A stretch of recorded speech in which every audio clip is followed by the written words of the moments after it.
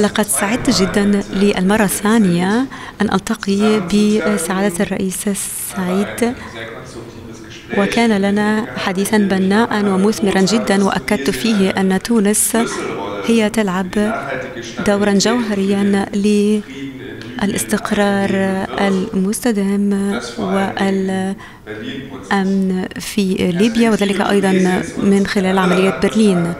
أن دور تونس ودول الجوار هي مهمة جدا ويجب أن يكونوا مشاركين لنا في هذه العملية وقد قمنا بوضع حجرتين الزاوية. ولكن نحن نعرف أن الطريق صعب أمامنا. و...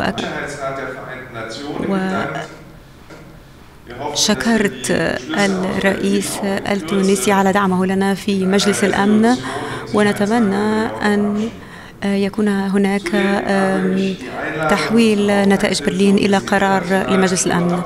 وسوف يكون هناك لجنه متابعة دولية لعملية برلين والتي ستجتمع في فبراير القادم.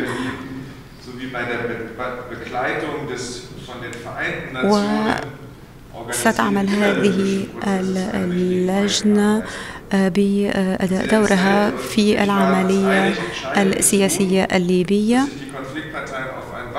وعلى الفرقاء أن يلتزموا بالهدنة ووقف إطلاق النار والتي هي ستمهد الطريق للحل السياسي وستجلب الاستقرار ليس فقط لليبيا ولكن للمنطقة ككل. شكرا.